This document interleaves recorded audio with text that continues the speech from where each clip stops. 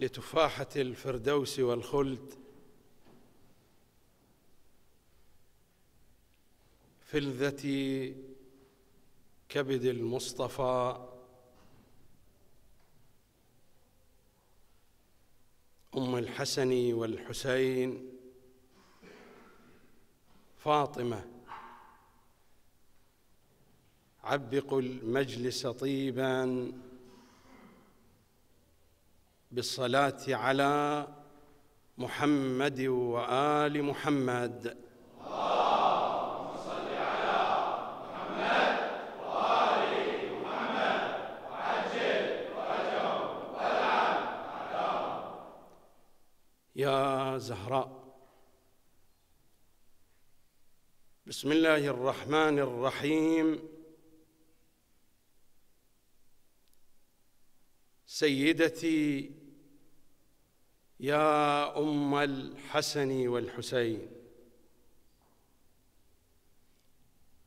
أشهد الله وأشهد ولدك صاحب الأمر وأشهد ضلعك المكسور ومتنك المسود أن من سرك فقد سر رسول الله وأن من آذاك فقد آذى رسول الله وأن من جفاك فقد جفى رسول الله وأن من وصلك فقد وصل رسول الله. وأن من قطعك فقد قطع رسول الله صلى الله عليه وآله وسلم. وإني لأقول هذا وعلى يقين أن كل من يسمعني في هذا المكان وفي غير هذا المكان من محبي علي وآل علي صلوات الله وسلامه عليهم أجمعين تشهد قلوبهم قبل ألسنتهم. وتشهد عقولنا قبل أبداننا أننا نوالي من واليت ونعادي من عاديت وأننا نسخط على من سخطت عليه. ونرضى عمن رضيت عنه نحب من أحببت. ونبغض من أبغضت. إنا أعطيناك الكوثر. فصل لربك وانحر. إن شانئك هو الأبتر.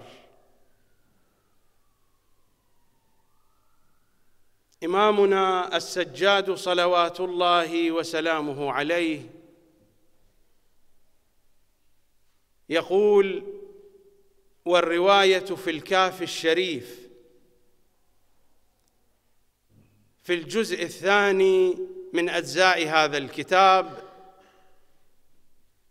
في باب فضل القرآن. يقول إمامنا صلوات الله وسلامه عليه آيات القرآن خزائن. فإذا فتحت خزانة منها ينبغي عليك أن تنظر ما فيها. آيات القرآن خزائن. فإذا فتحت خزانة منها ينبغي عليك أن تنظر ما فيها. وهذه خزانة من خزائن كتاب الله. إنا أعطيناك الكوثر. ويقول سيد الأوصياء صلوات الله وسلامه عليه والرواية أيضا في الكاف الشريف في الجزء الأول من هذا الكتاب في باب فضل العلم. ماذا يقول سيد الأوصياء؟ ألا لا خير في علم ليس فيه تفهم؟ ألا لا خير في قراءة ليس فيها تدبر؟ ألا لا خير في عبادة ليس فيها تفكر؟ وهو يشير إلى الآية الرابعة والعشرين من سورة محمد صلى الله عليه وآله وسلم أفلا يتدبرون القرآن أم على قلوب أقفالها؟ ألا لا خير في قراءة ليس فيها تدبر؟ وصادق العترة الأطهر صلوات الله وسلامه عليه. يخاطب سليمان بن خالد أحد أصحابه. يا سليمان إن الله جعل لك قلبا ومسامع. إن الله جعل لك قلبا ومسامع. والإمام هنا يشير إلى مسامع القلب. أهل البيت أخبرونا بأن لقلوبنا عيونا وبأن لقلوبنا مسامع. وإلى هذا تشير الآية الشريفة وتعيها أذن واعية الأذن الواعية هي أذن القلب. إن الله جعل لك قلبا ومسامع.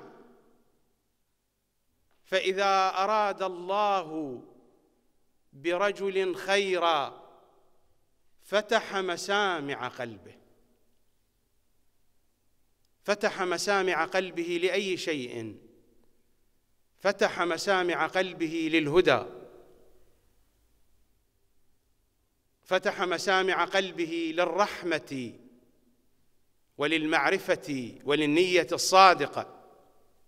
فإذا أراد الله برجل خيرا فتح مسامع قلبه وإذا أراد به غير ذلك غير الهداية وإذا أراد به غير ذلك سد مسامع قلبه. وتلك هي الأقفال كما يقول إمامنا الصادق عليه السلام أم على قلوب أقفالها. الإمام يتحدث عن هذه الآية فيقول تلك هي الأقفال أم على قلوب أقفالها.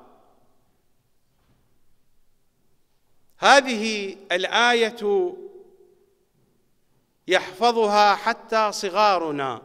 إنا أعطيناك الكوثر.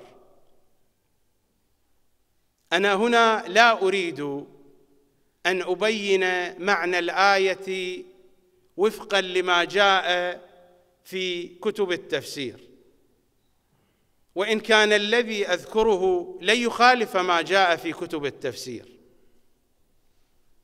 لكنني أريد أن أقف عند هذه الآية وقفة المتدبر. ألا لا خير في قراءة ليس فيها تدبر كما قال سيد الأوصياء صلوات الله وسلامه عليه. أريد أن أقف في فناء هذه الآية كي أتدبر شيئا مما جاء في خزانتها.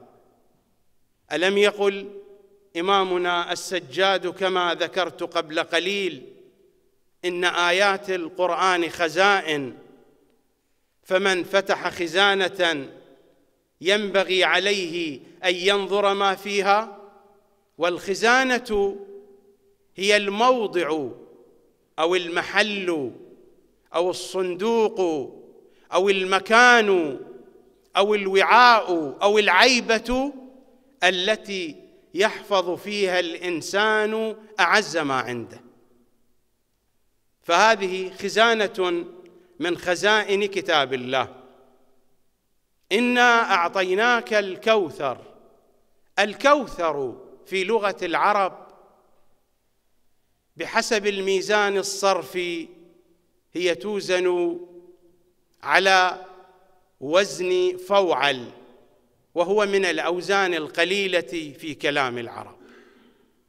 كوثر على وزن فوعل والكلمات على هذا الوزن قليلة في كلام العرب. الكوثر بنحو عام في لغة العرب تعني الشيء الكثير الكثير الكثير جدا. الكوثر هو الشيء الكثير جدا. لكن هناك خصوصية لهذا الشيء الكثير ومن لغة العرب.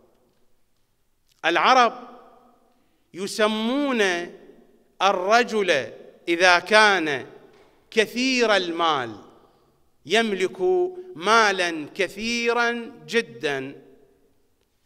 وفي نفس الوقت هو كريم جدا يكرم بكل ماله.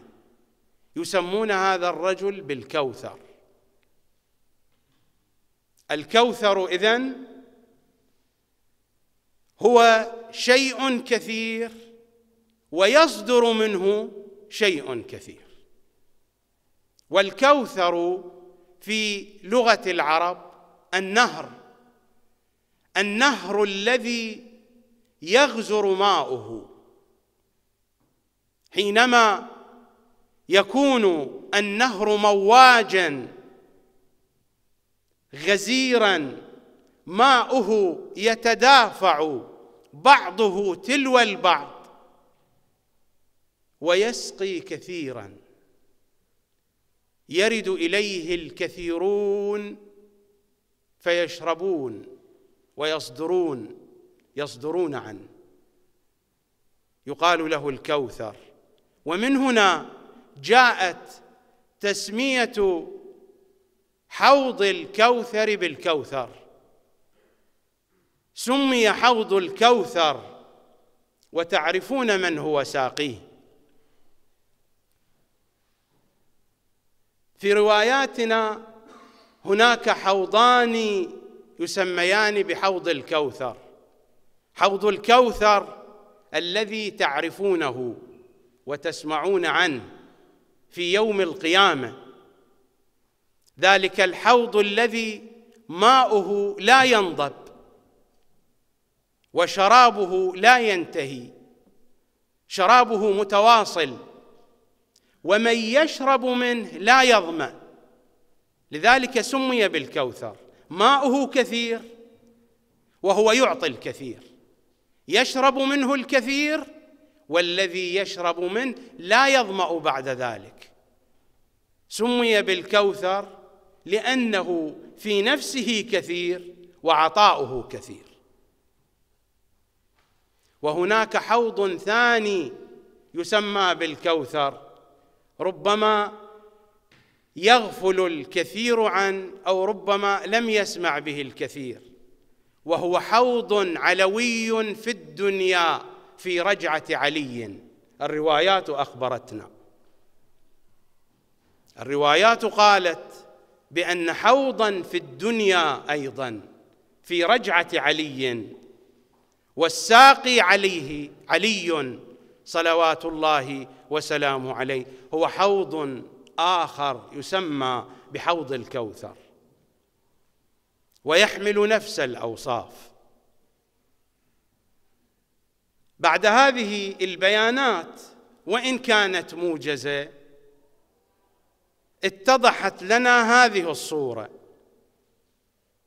أن الكوثر الشيء الكثير في نفسه والذي يصدر عنه الكثير الذي يفيض بالكثير. فما هو هذا الكوثر الذي أعطي لرسول الله؟ قطعا من نفس السورة في آخر السورة الآية الثالثة إن شانئك الأبتر. هناك مقابلة هناك كوثر وهناك أبتر. وإنما تستبان الأشياء بأضدادها أو من أضدادها. تستبان الأشياء من أضدادها أو بأضدادها بواسطة أضدادها. هذه الباء للواسطة. فهناك كوثر وهناك أبتر. والأبتر معنى مضاد للكوثر. من الوجهة التأريخية أظن أن المعنى واضح لكثير منكم. الذي كان يسمي رسول الله بالأبتر هو العاص بن وائل السهمي وابنه هكذا بالإلصاق عمرو بن العاص. كان يسميان رسول الله صلى الله عليه وآله وسلم بالأبتر وذلك بعد وفاة ولديه القاسم وعبد الله. بعد وفاة ولدي رسول الله ولما رجع رسول الله صلى الله عليه وآله وسلم من دفن ولده فبدأ يشنئان على رسول الله. في نفس الوقت العاص وابنه عمرو ابنه بالإلصاق. فكانا يسميان رسول الله بالأبتر والأبتر الذي يقصد منه الذي لا نسل له. عندنا رواية الحقيقة لم يكن في بالي أن أذكرها الآن خطرت في بالي هذه الرواية. لأنني ما كنت في بالي أن أتحدث عن عمرو بن العاص وعن أبيه. الرواية موجودة في كتبنا في تفسير البرهان في بحار الأنوار وفي غيرهما. رواية منقولة عن عمرو بن العاص. ماذا يقول عمرو بن العاص؟ وهو في مصر. يقول عن الجماعة في المدينة. يقول إن القوم عبثوا بالقرآن وحرفوا فيه ألف حرف. نحن نعتقد بتحريف القرآن المعنوي لا التحريف اللفظي. ما بين الدفتين كتاب منزه عن التحريف. لكن التحريف الذي وقع في كتاب الله هو في معاني القرآن. كتحريف معاوية والذين سبقوه. معاوية دفع لسمرة بن جندب. دخل معه في مزاد مزاد علني. قال أريد منك أن تضع الحديث تفتري على رسول الله حديثا فتقول إن الآية ومن الناس من يشري نفسه ابتغاء مرضات الله هذه نازلة في عبد الرحمن بن ملجم لعنة الله عليه. قال وأعطيك مائه ألف. قال لا. فلوى رقبته. قال مئة ألف. مزاد علني. قال لا. قال ثلاثمائة قال لا. قال أربعمائة أربعمائة. قال أما هذه فنعم. فوضع الحديث. هذا أحد الصحابة معروف سمرة بن جندب. هذا أيضا من الصحابة. والقوم يروون عنه الكثير من الأحاديث في كتبهم. فوضع الحديث في أن هذه الآية نزلت في عبد الرحمن بن ملجم. والآية معروفة نزلت في علي ليلة المبيت في فراش رسول الله صلى الله عليه وآله وسلم. مراد عمرو بن العاص تحريف مثل هذا التحريف. نحمل كلامه على هذا المعنى. إن القوم عبثوا بالقرآن وحرفوا ألف حرف. وإنني قد بذلت مئتي ألف درهم. كي أغير إن شانئك هو الأبتر. فقالوا إن ذلك لا يجوز لك. يعني هم الجماعة فقهاء الأجلاء. قالوا إن ذلك لا يجوز لك.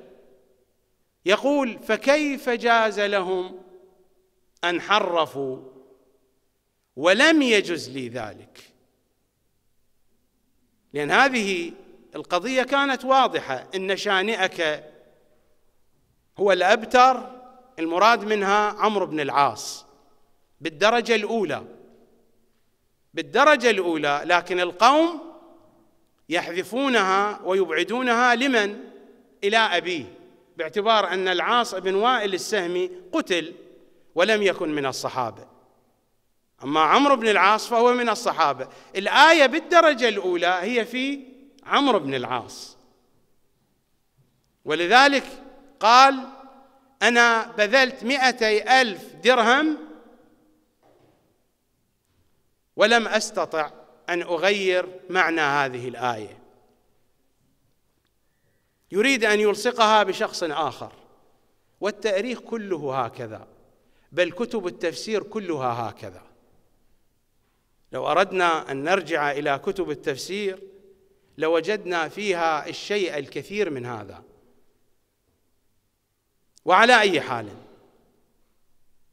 الكوثر المضاد للكوثر في هذه السورة هو الأبتر. وأنا لا أريد الحديث هنا عن البعد التأريخي للمعاني التي جاءت في هذه السورة الشريفة. فهناك كوثر وهناك أبتر. الأبتر الذي لا أصل له. الأبتر هو القليل والذي لا يعطي شيئا الذي لا نفع فيه. بالضبط مضاد لمعنى الكوثر.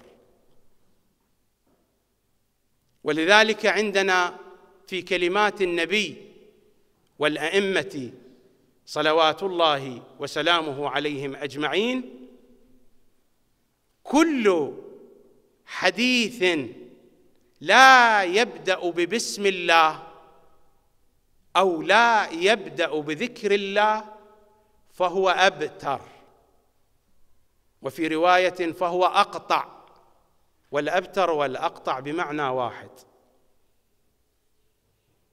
الآن الحيوان حينما يقطع ذيله يقال له أبتر. الأبتر والأقطع بمعنى واحد.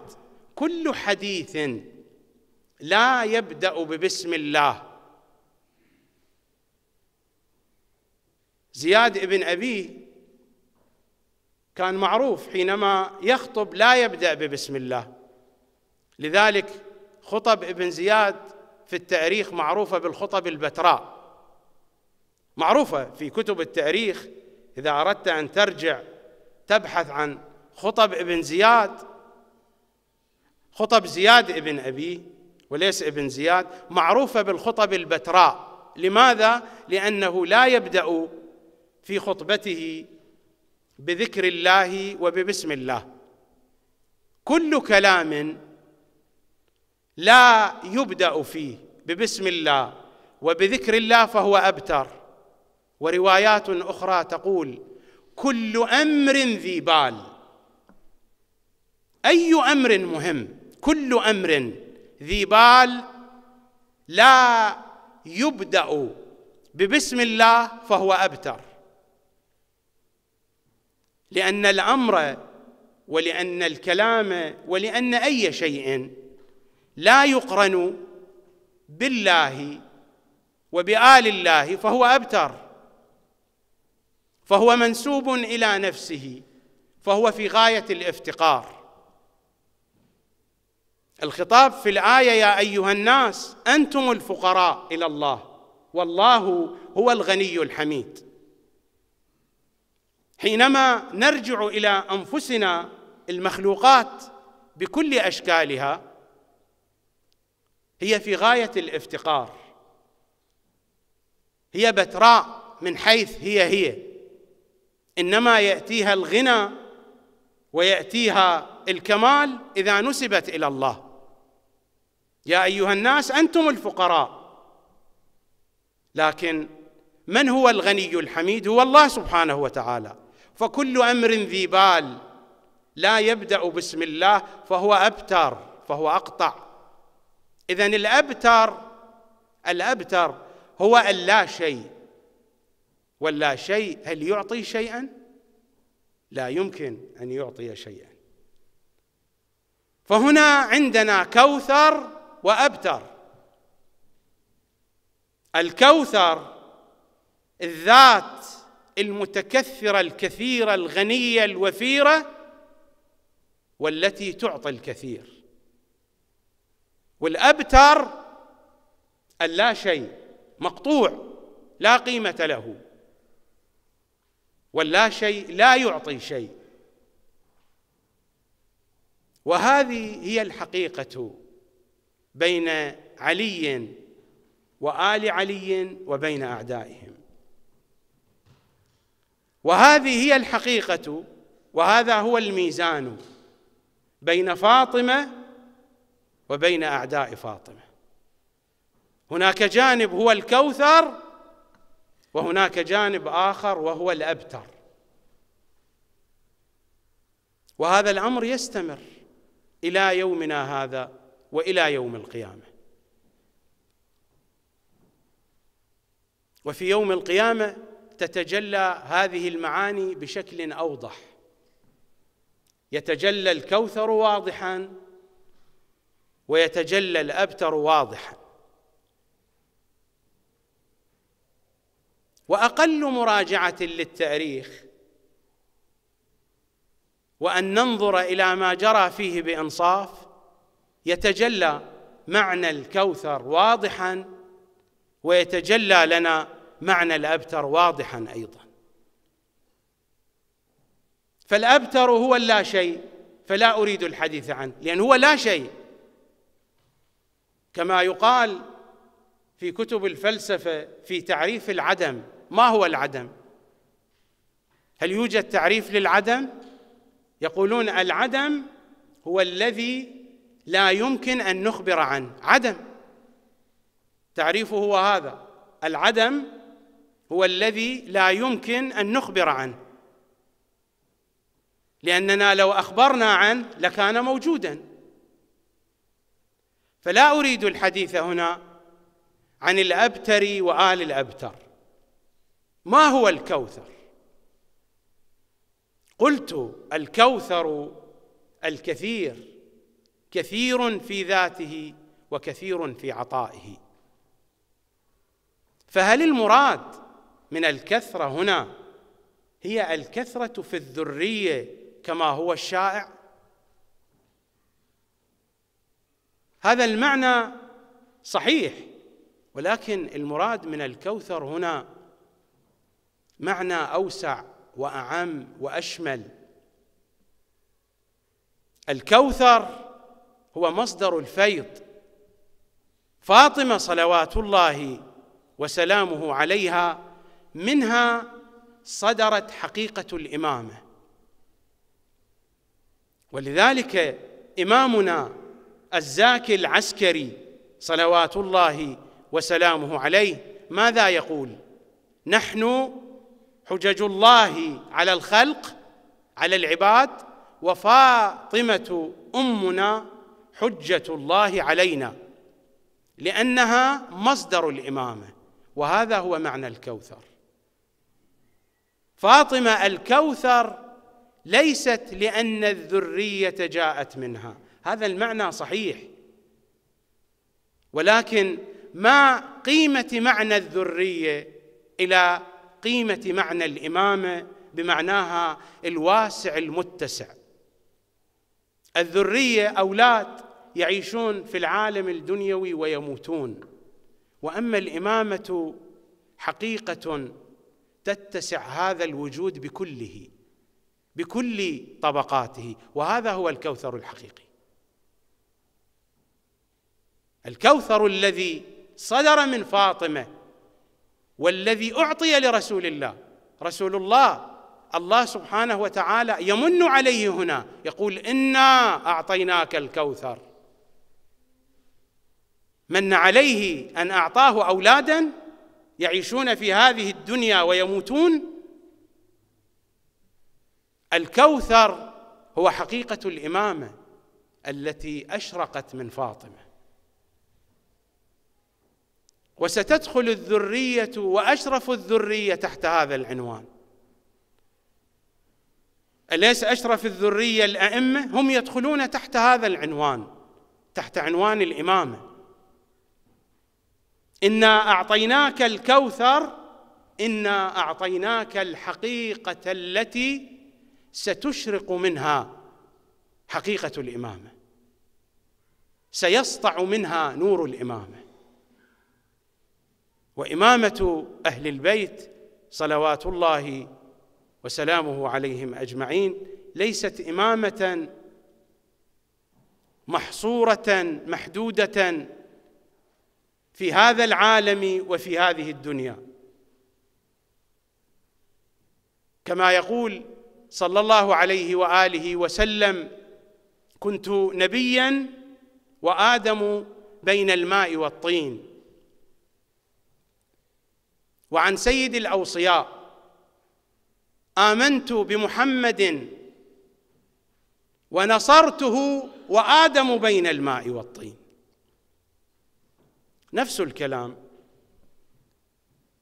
غاية الأمر اختلاف في بعض الألفاظ في بعض الحروف وهذا يقتضيه الحال وتقتضيه اللغة. وإلا هو هو. فالحقيقة واحدة. إنا أعطيناك الكوثر هذه المنة الإلهية على رسول الله المنة بهذه الجوهرة وقيمة هذه الجوهرة. أين قيمتها؟ قيمتها في الإمامة. وخلاصة هذه الجوهرة أين؟ في إمام زماننا. صلوات الله وسلامه عليه. هناك من علمائنا من يفسر والعصر بإمام زماننا صلوات الله وسلامه عليه فهو عصارة الوجود. والعصر والعصر هنا مصدر وفقا لهذه الرؤية وليس وقتا ومقطعا من اليوم. العصر يعني حدث العصر يعني عملية العصر. كما نقول شاهد عدل كلمة عدل ليست صفة وإنما هي مصدر. العدل هو حدث العدل ولكننا نصف به الشاهد للمبالغة في المعنى. أي كان هذا الشاهد هو العدل بنفسه وإلا كلمة عدل بحسب الموازين اللغوية هي مصدر. هذه مصدر تشتق منها الأفعال والصفات. فحينما نقول شاهد عدل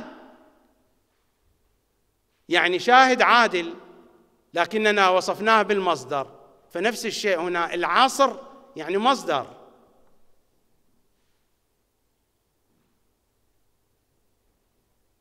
والمصدر يمكن أن يعطي دلالة بمعنى الفاعل وبمعنى المفعول ولا أريد أن أتعبكم بهذه الأمور.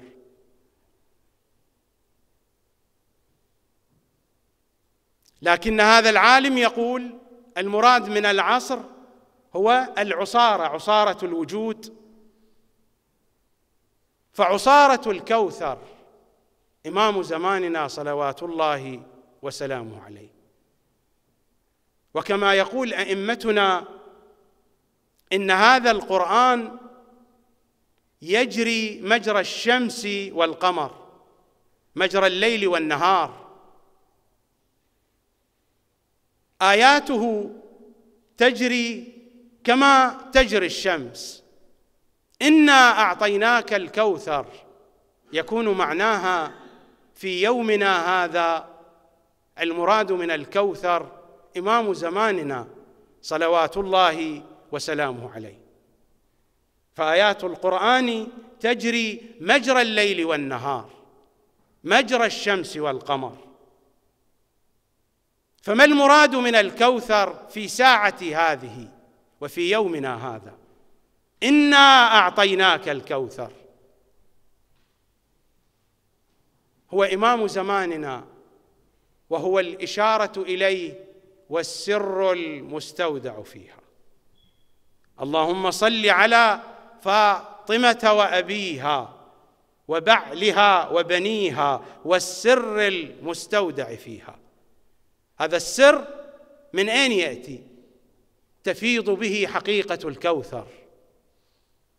وهذا السر المستودع هو سر الإمامة والخلافة. والإمامة والخلافة الإلهية متى تتحقق في كل مظاهرها؟ الإمامة والخلافة الإلهية هي متحققة حتى قبل أن نخلق فهم أئمة الوجود هم خلقوا قبل الخلق ولكن هناك مرحلة من مراحل الوجود هو العالم الأرضي والعالم البشري. لم تتحقق فيه إلى الآن الإمامة والخلافة. متى تتحقق الإمامة والخلافة في هذه المرتبة من مراتب الوجود؟ تتحقق في زمان ظهوره صلوات الله وسلامه عليه. وهذا هو السر المستودع في هذا الكوثر الفياض. ألا لا خير في قراءة ليس فيها تدبر؟ كل هذه المعاني مستقاة من عمق روايات وأحاديث أهل بيت العصمة. صلوات الله وسلامه عليهم أجمعين. لأننا حتى لو أردنا أن نتدبر فلا يعني أن نتدبر من جيوبنا الخاصة. التدبر له أسس وله شرائط وله أصول. فهذه هي المنة التي من الله بها على رسول الله. وفي الحقيقة هي هذه المنة علينا. ولذلك القرآن نزل كما يقول أئمتنا بإياك أعني واسمعي يا جارة. فما جاء من خطاب لرسول الله في القرآن هو خطاب للأمة. هكذا قال باقر العترة وصادق العترة وكل العترة صلوات الله عليهم أجمعين. إن القرآن نزل بإياك أعني واسمعي يا جارة. كل الخطابات التي نزلت لا أقول كل الخطابات واحدة واحدة. وإنما هناك الكثير من الخطابات التي وجهت لرسول الله صلى الله عليه وآله وسلم نزلت بهذا اللسان. باللسان إياك أعني واسمعي يا جارة. فهذه المنة في الخطاب اللفظي كانت على رسول الله. وفي الحقيقة هي هذه المنة الله سبحانه وتعالى من بها علينا. لأننا نحن الذين ننجو بهذه المنة. رسول الله هو أصل النجاة. رسول الله هل يحتاج إلى هذه المنة كي ينجو بها؟ نحن الذين ننجو بهذه المنة. نحن الذين نهتدي بهذه المنة. إنا أعطيناك الكوثر. هذا الكوثر أعطي لنا. هذه زهراؤنا. ومنها فاض إلينا نور إمام زماننا صلوات الله وسلامه عليه.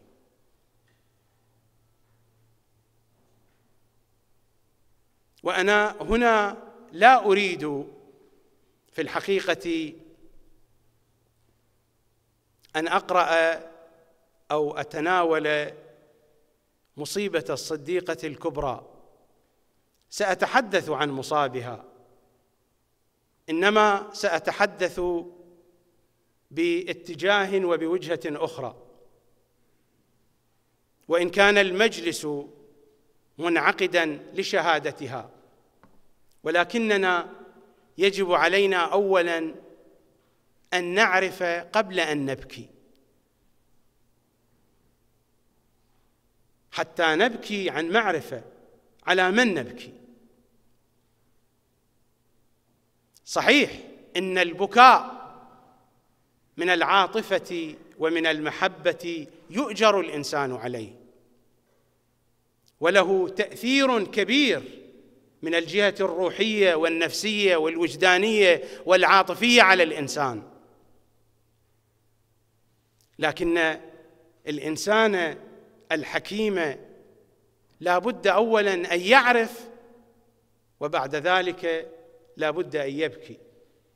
فنحن بحاجة لأن نعرف على من نبكي. نحن نبكي على هذا الكوثر الفياض. ولماذا نبكي؟ لأجل الذي جرى على هذا الكوثر الفياض. لكن ما الذي جرى؟ أنا سأسلط الضوء على جهات وليس على كل الجهات. أجعل كلامي في عدة نقاط. النقطة الأولى نحن نقرأ في زياراتها صلوات الله عليها بأنها صديقة شهيدة. والروايات موجودة في كتبنا في الكافي الشريف وفي غيره. إنها صديقة شهيدة إنها شهيدة. ومن خلال هذه النصوص نحن نعرف إن فاطمة قد قتلت. لذلك هي شهيدة. فهي صديقة شهيدة. لكنني ألفت الأنظار إلى رواية لا يتطرق إليها كثيرا.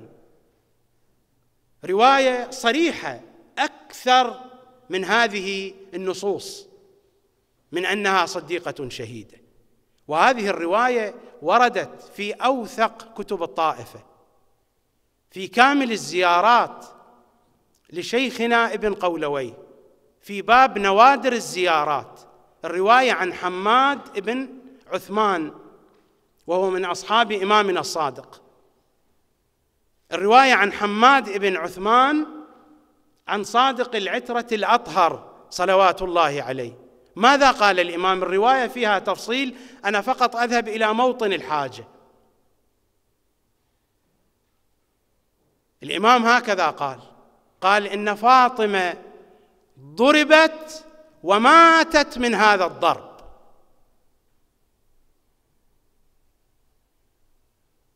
ربما تلكم النصوص صديقة شهيدة قد يؤول تؤول الشهيدة.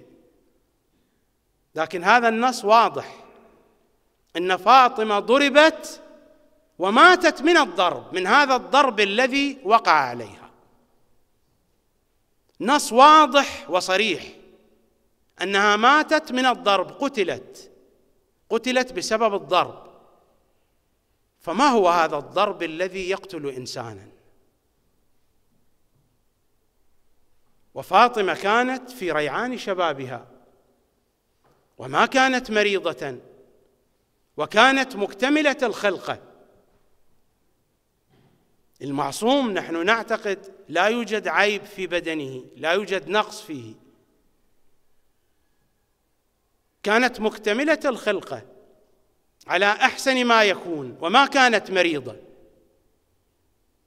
والصادق عليه السلام هكذا يخبرنا أنها ماتت من الضرب. السؤال هنا كم ضربت إذن؟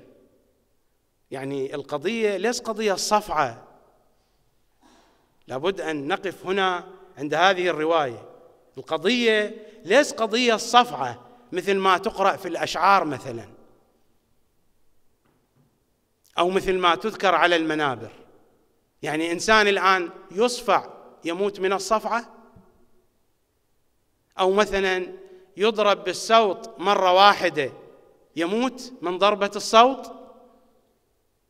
الذين دخلوا معتقلات صدام يعرفون كم يتحمل الإنسان من الضرب.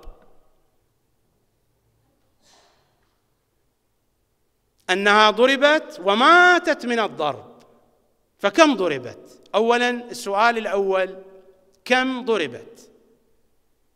والسؤال الثاني كم هو شدة هذا الضرب؟ والسؤال الثالث في أي موضع من بدنها ضربت؟ لأنه في بدن الإنسان هناك ما تسمى بالمقاتل. هذه المواضع التي إذا ما ضرب عليها الإنسان يقتل. فعندنا هنا ثلاثة أسئلة. السؤال الأول كم ضربت؟ كمية الضرب. والسؤال الثاني عن نوعية الضرب عن شدة الضرب. والسؤال الثالث في أي موضع قد ضربت؟ وإلا نحن لا نقرأ الرواية هكذا. الإمام الصادق يقول ضربت وماتت من الضرب ونمر عليها هكذا من دون أن نتدبر في دلالتها. وأنا هنا لا أريد أن أشرح الرواية ربما أشرحها في وقت آخر. لا أريد أن أطيل عليكم لكنني فقط أشير إلى نقاط هذه النقاط في كثير من الأحيان لا تذكر. وإنما هناك أصبح مثل كليشة معينة وهذه الكليشة هي التي دائما تذكر على المنابر. هناك صورة معينة نص معين وهذا النص هو الذي يتردد دائما.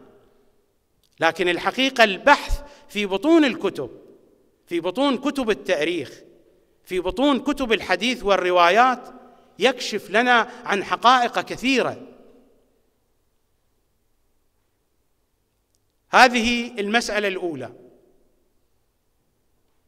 المسألة الثانية. كتب التاريخ وكتب الأخبار تحدثنا أن الهجوم على بيت فاطمة لم يكن مرة واحدة. من خلال التتبع في كتب الحديث وكتب الأخبار هناك ثلاث هجومات على بيت فاطمة. ليس هجوما واحدا. طبعا هذه الهجومات متى وقعت؟ هنا يأتي السؤال. هناك ثلاث هجومات. ولو كان المقام للتفصيل. أنا إن شاء الله هذا المعنى أتناوله في الوقت المناسب إما عبر التلفزيون أو في مجالس أخرى في مجالسنا هنا. أتناول هذه المسائل بالتفصيل. هناك ثلاث هجومات. متى وقعت هذه الهجومات؟ بحسب التتبع في كتب الأخبار. كتب الحديث.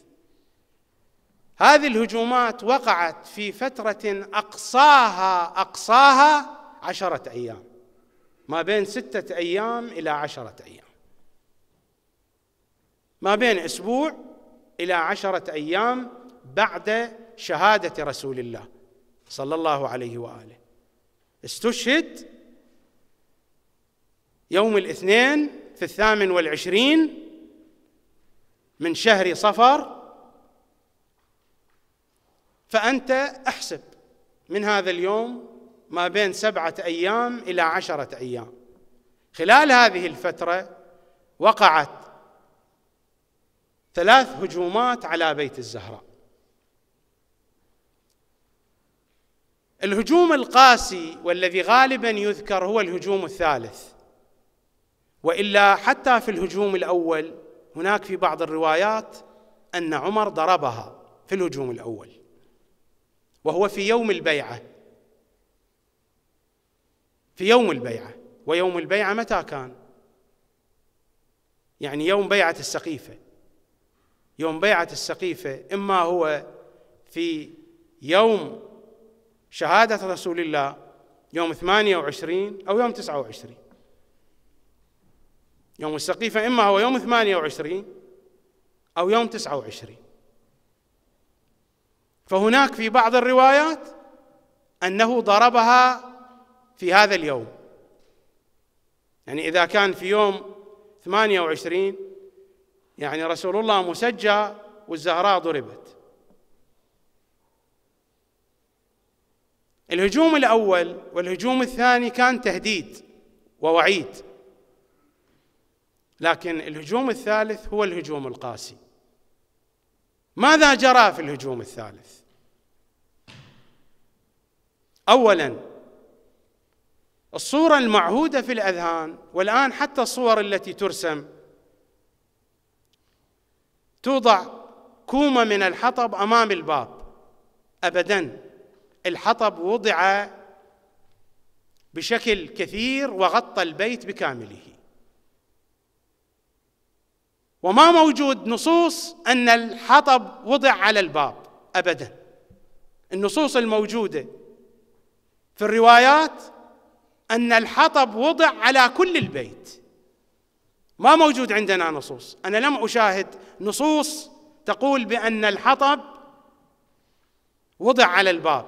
نعم في النصوص أنه كان يرفع بيده فتيلة أو قبسا من نار وسجر النار الموجود عند الحطب الموجود عند الباب. عملية الحريق من هنا بدأت صحيح. هذا في النصوص موجود.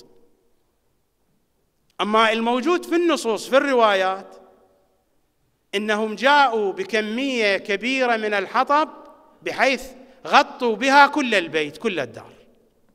لذلك هو لم يقل أنا أريد أن أحرق الباب. قال أريد أن أحرق البيت على من فيه. كانوا يهددون بإحراق البيت. أنت حينما تضع كمية من الحطب على الباب هل تحرق البيت بكامله؟ لا يمكن هذا. قضية تحتاج إلى شيء من التأمل. كمية من الحطب على الباب هل تحرق البيت بكامله؟ أبدا. فكانت كمية الحطب ضخمة جدا.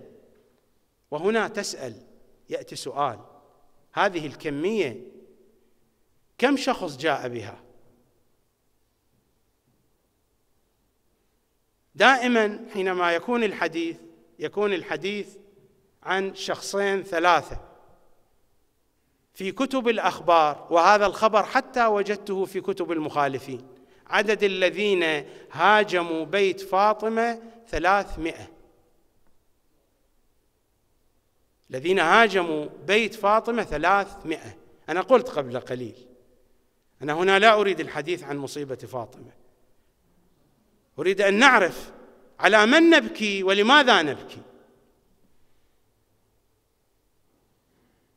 ثلاثمائة الذين هجموا على بيت فاطمة. هؤلاء لو كل واحد يحمل معه حزمة من الحطب أنت تصور كم هي الكمية من الحطب؟ حتى لو كان حزمة بسيطة. والكتب ماذا تقول؟ جاءوا بالحطب الجزل. لا بد من الالتفات إلى هذا الوصف. هذا الوصف موجود في كل الأخبار التي تحدثت عن عملية الهجوم على بيت فاطمة. جاءوا بالحطب الجزل. لأن الحطب أنواع. هناك ما هو سريع الاشتعال هناك ما هو بطيء الاشتعال. الحطب الجزل ما هو؟ الحطب الجزل وارجعوا إلى كتب اللغة.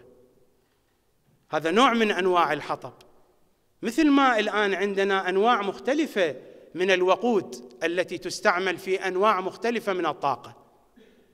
الناس أيضا كانوا يستعملون أنواع مختلفة من الحطب. لأنهم يأتون به من أشجار مختلفة أيضا.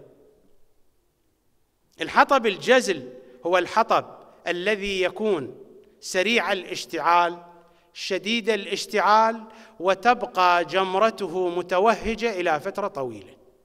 هذا هو الحطب الجزل. وكل الروايات التي تحدثت يعني قضية مدروسة قضية محسوبة. ليست بعيدة الصور تفخيخ بيوت شيعة أهل البيت الآن وتفجير العمارات نفس العملية. نفس العملية. القضية واضحة. هذه عملية تفخيخ في ذلك الوقت ما كان موجود الديناميت والتي انتي كان موجود الحطب الجزل هو هذا أخطر أنواع الحطب. ثلاثمائة يحملون هذه الكميات من الحطب ووضعوها في محيط البيت. وأنتم تعلمون بيت فاطمة كان بابه على مسجد رسول الله. يعني يريدون أن يحرقوا بيت فاطمة مع المسجد. وأيضا رسول الله مدفون في المسجد. نفس العملية. نفس القضية. مثل ما هدم البقيع وخرب نفس القضية نفس المسألة. الأمر هو هو. القضية هي هي. لكن هل يعتبر الشيعة؟ لا أعتقد ذلك. الشيعة هل يعتبرون؟ التجارب تقول لا. وإلا الأمر هو هو ونفس التفاصيل. ثلاثمائه يقودهم عمر. هكذا تقول الروايات. وجاءوا بالحطب الجزل ووضعوه في محيط البيت غطوا به البيت. تلاحظون الصورة مختلفة جدا.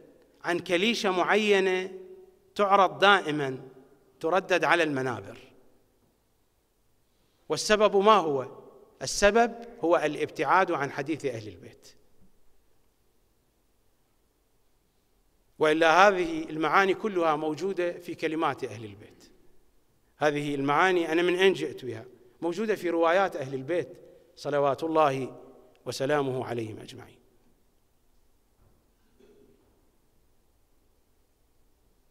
ثم ما الذي جرى؟ هناك قضية تتردد ومعروفة هذه القضية تعرفونها. إن فاطمة صلوات الله عليها دخلت على أبي بكر فانفردت به وحاججته فكتب لها كتابا صكا بفدك. معروفة هذه القضية. فلما خرجت من عند أبي بكر صادفها عمر فسألها عن الأمر. قد يكون هذا الأمر مدبرا عرف بالأمر من طرف آخر سألها قالت كتب لي أبو بكر هذا الصك هذا الكتاب يشهد لي بأن فدك لي. قال أرني فأخذ الكتاب منها. معروفة أنه رفسها في خاصرتها ولطمها على وجهها وخرق الكتاب. فقالت له بقرت كتابي بقر الله بطنك. هذه القضية أنتم تعرفونها وربما تذكر على المنابر لكن قضية ثانية لا تذكر وهذه موجودة في رواياتنا. رواية عن المفضل ابن عمر عن إمامنا الصادق صلوات الله وسلامه عليه. رواية مفصلة أنا فقط أشير إلى موطن الحاجة. الرواية موجودة في الجزء الثالث والخمسين من كتاب بحار الأنوار وفي مصادر أخرى. الروايه عن الإمام الصادق عليه السلام. إن فاطمة كان عندها كان عند فاطمة صك من رسول الله. كان هناك صك من رسول الله كتاب سند من رسول الله أنه قد أعطاها فدك. الرواية عن الإمام الصادق تقول وعلى مشهد من قريش والمهاجرين والأنصار هكذا يقول الإمام على رؤوس الأشهاد. قال لها أين هذا الكتاب الذي تقولين إن أباك قد كتبه لك؟ الإمام يقول أخذ منها الكتاب. فماذا فعل؟ فبصق فيه تفل في الكتاب. فبصق في الكتاب ثم خرقه. هذه الرواية أعتقد أن الكثير منكم إن لم يكن كلكم قد سمع بها. هذه موجودة في أحاديث أهل البيت. يعني القضية أبعد من قضية أنه إنا معاشر الأنبياء لا نورث. هذه دعايات سياسية فقط. هناك صك مكتوب سند مكتوب من رسول الله. القضية ليس قضية أحاديث موضوعة. هذه قضية إعلامية. هذا تهويش إعلامي. وفقا لهذه الرواية يعني أن الزهراء تملك فدك بسند رسمي. وفقا للقوانين الموجودة في هذا الزمان تملك سندا رسميا من أعلى سلطة في الدولة من رسول الله صلى الله عليه وآله. أخذ الكتاب بصق فيه ومزقه وخرقه. وهذا الذي وصل إلينا أما الذي لم يصل إلينا فالله أعلم. ليس كل شيء وصل إلينا.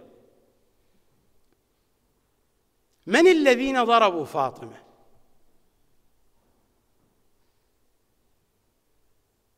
كم واحد ضرب فاطمة؟ عندنا رواية رواية يرويها المؤرخ مقاتل ابن عطية.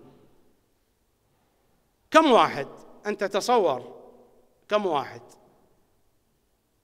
اثنان ثلاثة أنا سأذكر أسماء وسأذكر أرقام.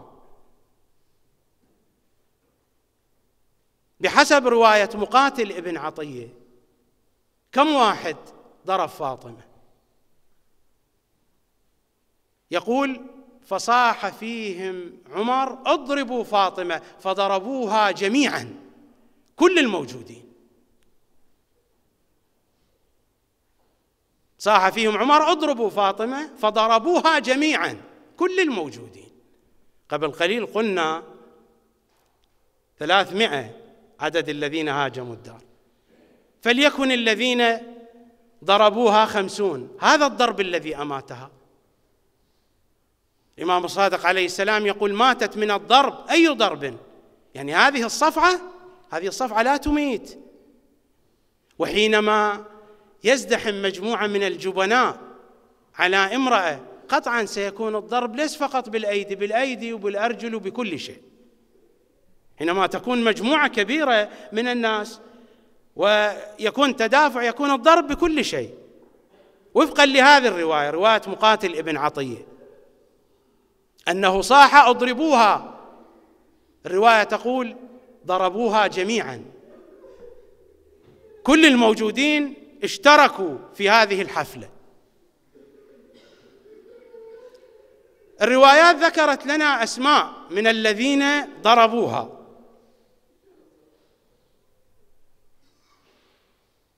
طبعا دائما يتبادر إلى الذهن إن الذي ضربها عمر. صحيح عمر ضربها.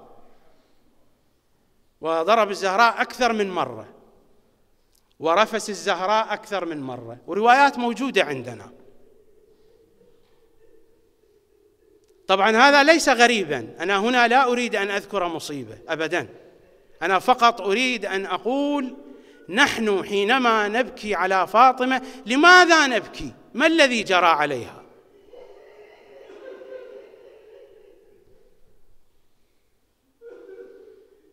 قد يقول قائل ولا أدري من أين يأتون بهذه الأقوال إنه ليس من المعقول ليس من المنطقي أن الصحابة يضربون فاطمة وأن عمر من صحابة رسول الله لا يمكن أن يضرب فاطمة. هناك كلام يقال مثل هذا الكلام. أنا فقط أريد صورة تاريخية سريعة. مثلا عن حياة عمر وحتى عن حياة البقية. هناك صور في التاريخ لكن صور سريعة عن حياة عمر. وهذا من كتب القوم ليس من كتبهم. ليس من كتبنا من كتب القوم هذه الأحداث التي سأنقلها لكم. عمر بن الخطاب هو بنفسه يتحدث كيف قتل ابنته. وأظن أن كثيرا منكم سمع هذه القضية. ولدت له بنت فأمها أخفتها لما جاء لقتلها في أيام الجاهلية قبل الإسلام. أمها أخفتها وأخذتها إلى بيت أخوالها. فلما سألها قالت إنها قد ماتت وكبرت البنت في بيت أخوالها. بعد مدة لما كبرت طفلة وكانت جميلة فأمها جاءت بها قالت إن أباها إذا نظر إليها سيرق قلبه عليها. وفعلا جاءت بها إلى البيت ورآها عمر سكت. لكن بعد أيام أخرجها قال بني تعالي معي. أخرجها إلى أين؟ إلى الصحراء. وأخذ معه زنبيل وأخذ معه معول. وحفر لها قبرا والطفله لا تدري.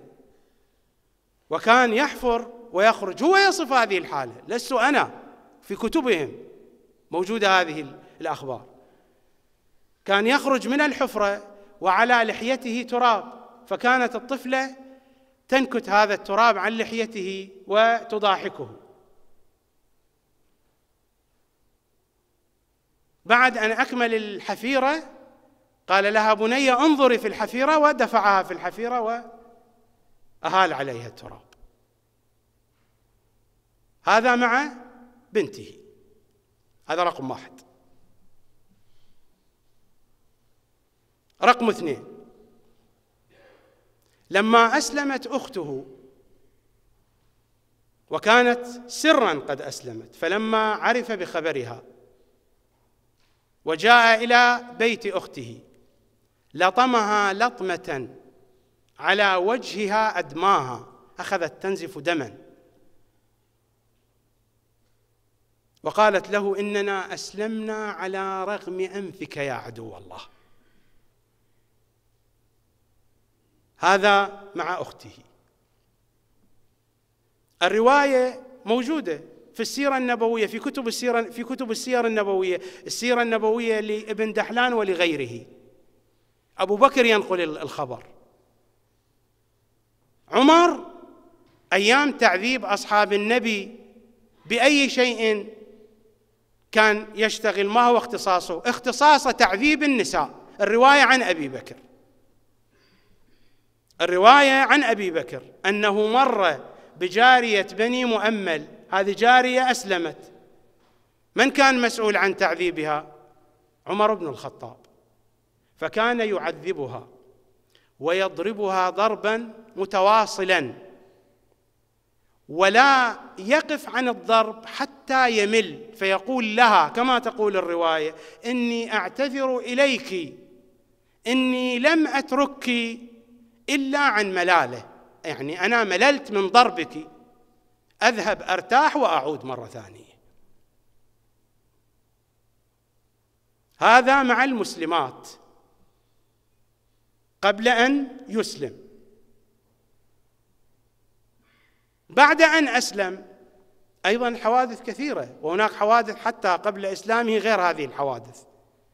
لكنني لا أريد أن أجعل الحديث عن عمر في هذا المجلس. بعد أن أسلم هناك رواية الحقيقة هذه الرواية أنا أحفظها ربما قبل عشرين سنة أو أكثر لكنني راجعتها قبل أن أتي إليكم ربما بنصف ساعة. شككت قلت ربما هذه الرواية الجماعة رفعوها. مثل ما علست أشياء كثيرة قلت ربما علست هذه الرواية. لكنني وجدتها موجودة في سنن ابن ماجه. في الجزء الثاني من طبعة دار الكتب العلمية الطبعة الثانية سنة 2009 في باب ضرب النساء. وموجودة في مصادر أخرى أنا قرأتها فيما سبق من الأيام في مسند ابن حنبل وفي غيرها. الرواية رويها الأشعث ابن قيس من جماعتهم منهم وبيهم الأشعث ابن قيس. الأشعث ابن قيس يقول بت ليلة عند عمر بن الخطاب وفي جوف الليل يعني نص الليل وفي جوف الليل وفي جوف الليل قام على زوجته فضربها. ناس نايمة نص الليل يعني هذا حكي الناس نايمة. وفي جوف الليل قام على زوجته فضربها. فقمت فحجزت بينهما. فلما جاء أن ينام قال اسمع يا أشعث احفظ عني هذا الحديث عن رسول الله. رأسا ترتب فت حديث مرتب اسمع يا أشعث احفظ عني فإني قد سمعت رسول الله يقول لا يسأل الرجل فيما يضرب امرأته. ولا تنم إلا على وتر والثالثة نسيتها. هو يقول حديث هكذا. مرقع الشغلة مرقعة واضحة يعني. هذا حديث هو يعني واضح. يعني أي واحد ينظر إلى هذا الحديث. الحديث موجود ذكرت مصادره. قال لا يسأل الرجل فيما يضرب امرأته. ولا تنم إلا على وتر. وتر يعني صلاة الوتر. والثالثة نسيتها. حقيقة أنا حضرت في ذهني قضية مذكورة عن أشعب أشعب الطماع. معروف يقال أطمع من أشعب من أمثال العرب. كان في زمان بني أمية. عاش في زمان فترة من خلافة عمر فترة من خلافة عثمان في زمان بني أمية. يقولون مرة قالوا له حدثنا يا أشعب يعني أنت رأيت بعض الصحابة حدثنا؟ فقال أحدثكم. حدثني عكرمة. قال رسول الله أن للمؤمن خصلتين وسكت.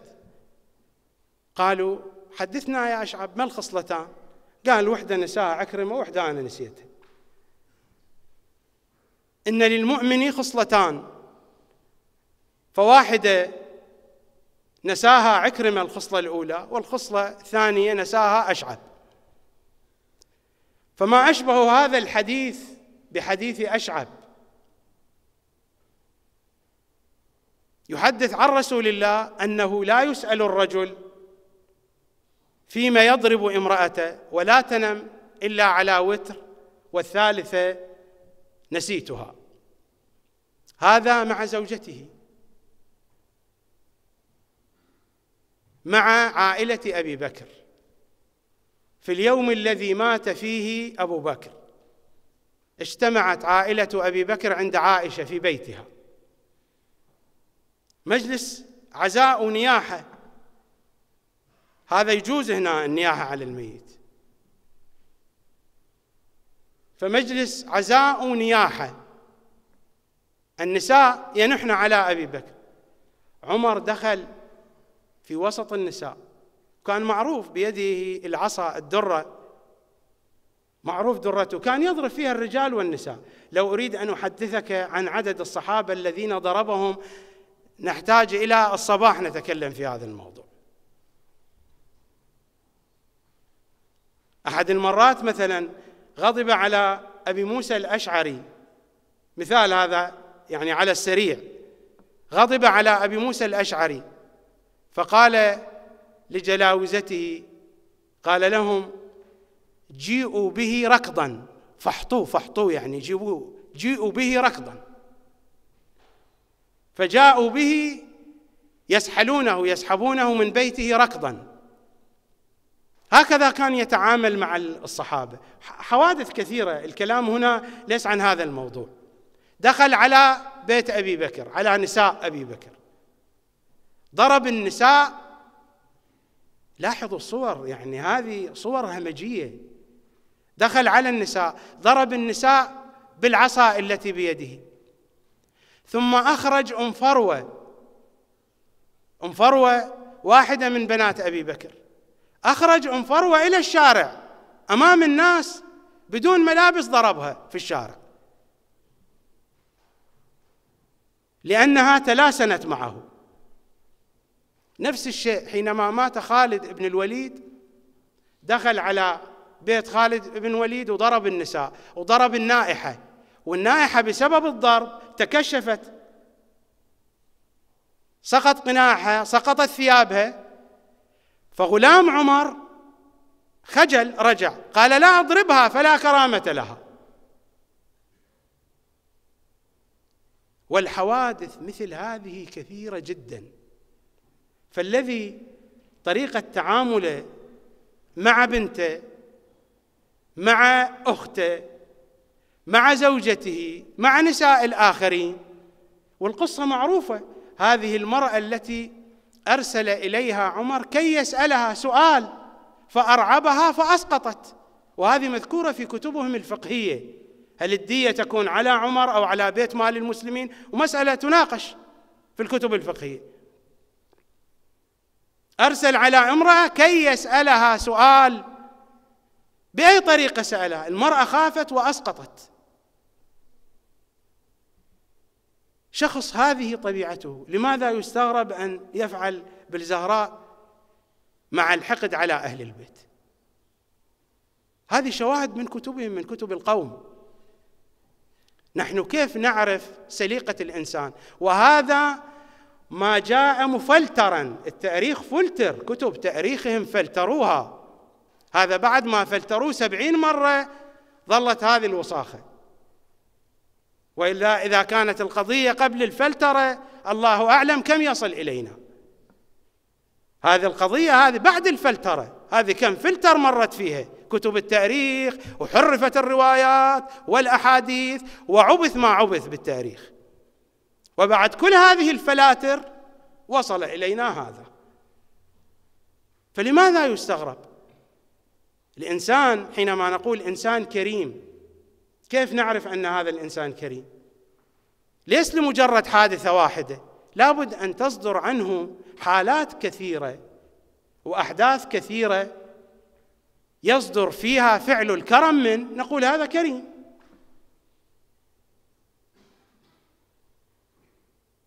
أما إذا حالة واحدة لا نقول عنه كريم.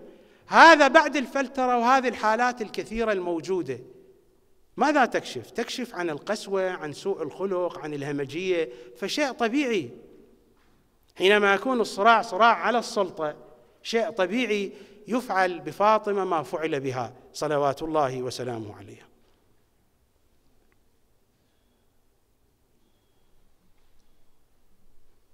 المجلس طالبنا أشير إلى مطالب سريعة وإلا هناك مسائل كثيرة كان بودي أن أطرحها. من الذين ضربوا فاطمة. معروف عندكم عمر بن الخطاب ضرب فاطمة وضربها بعدة هيئات. ومن الذين ضربوا فاطمة صلوات الله وسلامه عليها قنفذ. وهذا معروف عندكم أيضا. لكن من الذين ضربوا فاطمة حد الإدماء إلى الإدماء أدماها. من هو؟ المغيرة ابن شعبة. والرواية موجودة. الرواية موجودة. رواية مفصلة موجودة. رواية في كتاب الإحتجاج لشيخنا الطبرسي رحمة الله عليه والرواية عن الإمام الحسن المجتبى. هو يتحدث عن أمه هو رأى ذلك بعينه. الإمام الحسن ابنها الأكبر هو الذي يتحدث. وقال هذا الكلام للمغيرة وبمحضر من معاوية وبمحضر من عمرو بن العاص وبمحضر من كل بني أمية وعمرو بن عثمان بن عفان بمحضر مجموعة من الأمويين. والعاصيين؟ قال له وأنت يا مغيرة والكلام طويل أنا فقط أشير إلى موطن الحاجة. قال ضربت فاطمة حتى أدميتها اذلالا منك لرسول الله. هكذا قال له. قال ضربت فاطمة حتى أدميتها. أنا قبل قليل قلت الضرب الذي يميت أي ضرب؟ وهذا الضرب. ضربت الإمام يقول هذا كلام الإمام الحسن عليه السلام. ضربت فاطمة حتى أدميتها. إذلالا منك لرسول الله. هذا أيضا صحابي من أجلة الصحابة.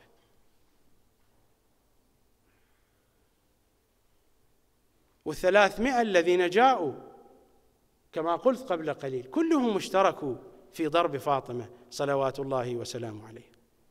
لأن فاطمة ضربت على وجهها فاحمرت عينها صلوات الله وسلامه عليها. وكذلك ضربت على عضدها. العضد أعتقد تعرفون معناه. العضد هو ما بين المرفق إلى المتن إلى الكتف. هذه المنطقة تسمى العضد. فضربت هنا الشيخ محمد حسين الأصفهاني رحمة الله عليه والأثر الباقي كمثل الدملج في عضد الزهراء من أقوى الحجج والأثر الباقي كمثل الدملج في عضد الزهراء أقوى الحجج. الدملج هو نوع سوار تلبسه المرأة هنا. الذي تلبسه هنا في الزند يسمى سوار والذي تلبسه المرأة هنا يسمى دملج. الروايات تقول وعن أمير المؤمنين هذه الرواية. إن هذا الأثر الذي كمثل الدملج بقي في عضد فاطمة إلى أن ماتت. كم هي شدة هذه الضربة؟ تتصور؟ يعني المسافة مسافة شهرين أو أكثر من شهرين. كم كانت شدة هذه الضربة التي تبقى طيلة هذه المدة؟ الرواية عن أمير المؤمنين. هو قال قال هذا الأثر الذي كمثل الدملج بقي في عضد فاطمة إلى يوم وفاتها إلى يوم شهادتها إلى أن ماتت من ذلك الضرب وضربت على متنها. وكان الضرب على متنها شديدا جدا. ازرق متنها واسود متنها. ولكن أكثر شيء الم الزهراء شيئين. أكثر شيء الم الزهراء شيئين. العصرة أبيات السيد محمد بن السيد مهدي القزويني رحمة الله عليه في منظومته حديث الكساء الشريف وعجبا يستأذن الأمين وعجبا. الأمين رسول الله. وعجبا يستأذن الأمين عليهم ويهجم الخؤون. وعجبا وعجبا يستأذن الأمين عليهم ويهجم الخؤون. قال سليم قلت يا سلمان هل دخلوا ولم يك استئذان. فقال إي إي إي وعزه الجبار ليس على الزهراء من خمار. قال سليم قلت يا سلمان هل دخلوا ولم يك استئذان؟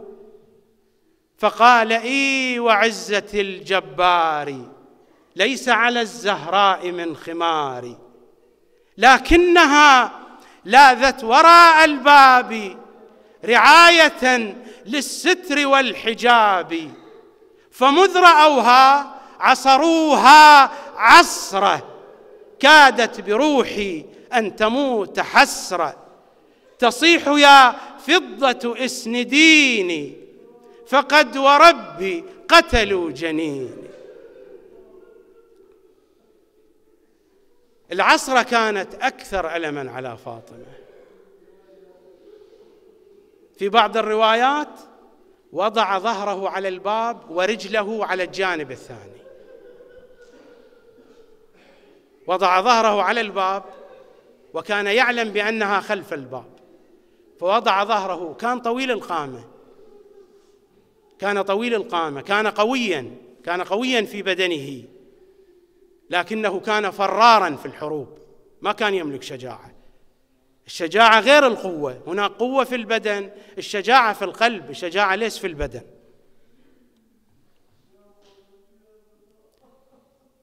فضغط على الباب بظهره ورجله وضعها على الطرف الثاني.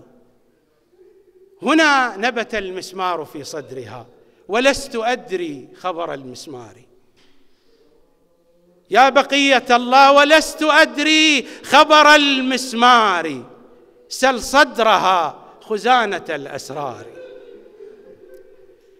كلام في غاية الدقة للشيخ محمد حسين الأصفهاني رحمة الله عليه. ولست أدري خبر المسمار. نحن ماذا نعرف عن خبر المسمار؟ الخبر أين موجود؟ سل صدرها خزانة الأسرار.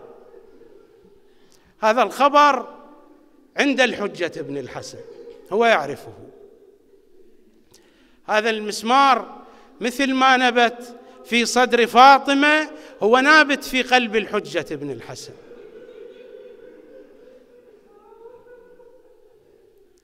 الشيء الثاني طبعا الحديث عن الآلام الجسدية التي تعرضت لها الزهراء طويل. ولا أظن أني سأتمكن من ذكر كل التفاصيل. لكن الشيء الذي كان أكثر ألما آلم الزهراء طبعا عمر في الروايات أخذ غمده سيف خالد بن الوليد. والغمد من أين يصنع؟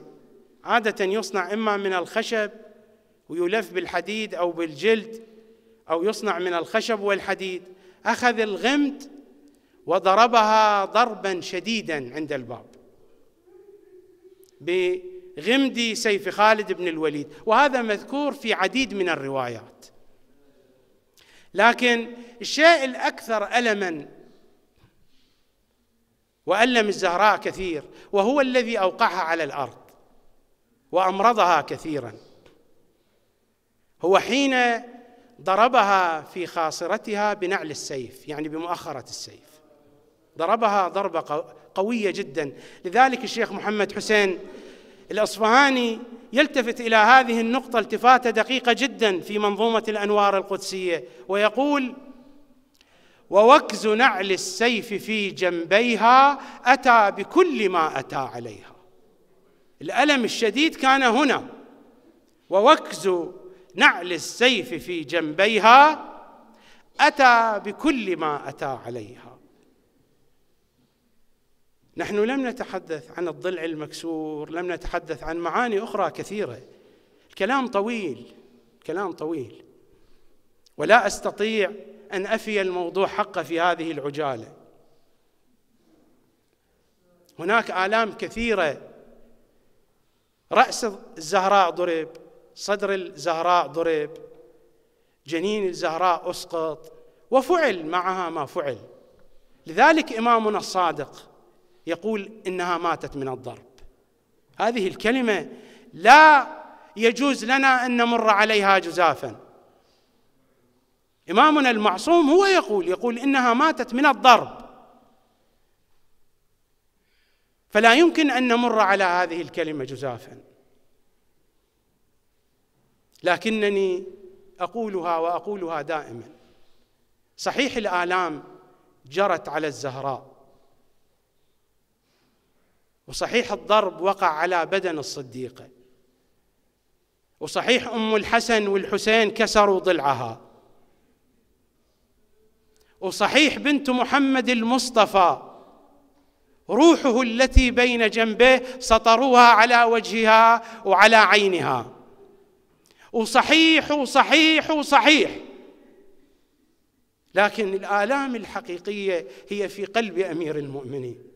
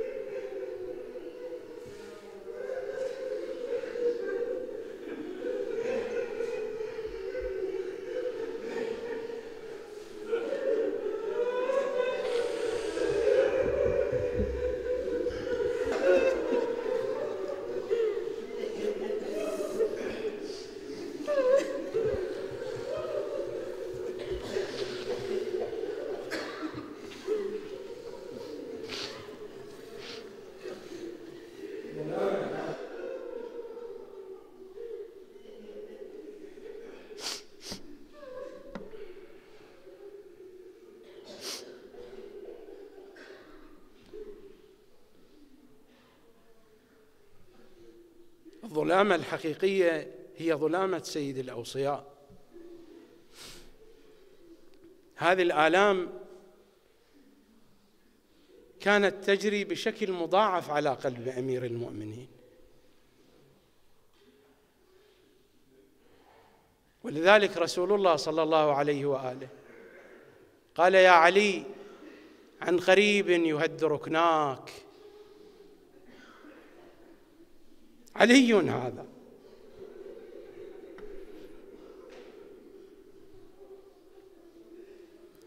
علي هذا الذي قلع القموص باب خيبر.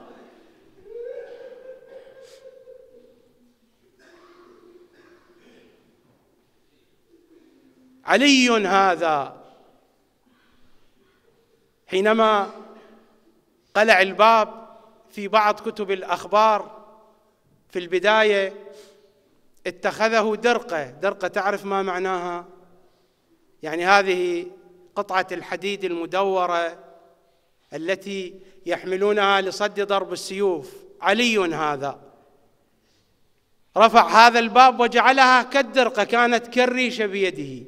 لما ألقاها على الأرض كتب المؤرخين من كتبهم هم يقولون أكثر من أربعين رجل أرادوا أن يرفعوها عن الأرض ما استطاعوا. إلى هذه يشير ابن أبي الحديد. يا قالع الباب الذي عن هزها عجزت أكف أربعون وأربع. إلى هذه القضية. أكثر من أربعين رجل أرادوا فقط يحركوها من على الأرض. علي هذا يقول له رسول الله سيهد ركناك عن قريب. الركن الأول رسول الله والركن الثاني فاطمة. وقد هد علي هد علي. هد علي حين يرى فاطمة لما أخرجوه بالحبال ملببا وقد اجتمعوا حولها قنفذ وأضراب قنفذ بالسياط يضربونها. أبان ابن تغلب ينقل ينقل عن سليم بن قيس. سليم بن قيس ينقل عن أمير المؤمنين. عمر بن الخطاب في أيامه وهذه تعد من مناقبه في كتبهم أنه حاسب عماله وناصفهم في أموالهم. حتى أرسل على أبي هريرة وأبو هريرة كان حافي فولاه على البحرين. فلما جاء به إلى المدينة كي يحاسبه كان عنده أربعة وعشرين ألف من الأموال فناصفه. ناصف عماله لكنه لم يحاسب قنفذ بل زاد على أمواله. سليم يسأل الأمير عن هذا الأمر أنه لماذا عمر حاسب كل عماله ولم يحاسب قنفذ بل زاد له على ما عنده من الأموال؟ الرواية تقول الأمير اغرورقت عيناه بالدموع. قال هذا لضربه لفاطمة هذه محفوظة له هذه كرامة لذلك الموقف. هذه حفظها له لتلك الكرامة. ومن سواد متنها اسود الفضاء يا ساعد الله الإمام المرتضى. الشيخ هنا محمد حسين الاصفهاني يشير إلى هذه القضية لأن الإمام كان يرى فاطمة تضرب وأخرجوه وهو مقيد بحبال الوصية. قضية معروفة في روايات أهل البيت وربما في وقت آخر نتحدث عن ما هو المقصود أنه كان مقيدا بحبال الوصية. هذا أيضا موضوع بحاجة إلى تفصيل وشرح وبيان. وتحدث عنه أهل البيت كثيرا وموجود في رواياتنا بشكل واضح ومسهب. وإن شاء الله إذا صارت فرصة أتحدث عن هذا الموضوع. ولذلك الآلام هذه الآلام كانت كلها مجموعة في قلب سيد الأوصياء. لكن من أكثر اللحظات لوعة على قلب سيد الأوصياء حين سجى فاطمة ونادى حسنا وحسينا بني حسن بني حسين تعالى وتزودا من أمكما. ووقع على صدرها الشريف. والرواية معروفة وأنتم تعرفونها. لما وقع على صدرها الشريف ماذا يقول أمير المؤمنين؟ يقول أشهد الله لقد أخرجت يديها من الكفن وضمتهما إلى صدرها الشريف والنداء من السماء. النداء من العرش. أن يا علي نح الحسنين عن أمهما فقد أبكيا ملائكة السماء. هذه اللوعة لوعة أمير المؤمنين صلوات الله وسلامه عليه. وأنا هنا أقسم على الله سبحانه وتعالى بلوعة أمير المؤمنين أن يعجل في فرج إمام زماننا. اللهم يا رب فاطمة بحق فاطمة اشفي صدر فاطمة بظهور الحجة عليه السلام. اللهم إنا نقسم عليك بفاطمة وبلوعة فاطمة أن تكتبنا في الفاطميين وأن تحشرنا مع الفاطميين وأن تميتنا على محبة فاطمة. أن نحيا محيا فاطمة وآل فاطمة. وأن نموت ممات فاطمة وآل فاطمة.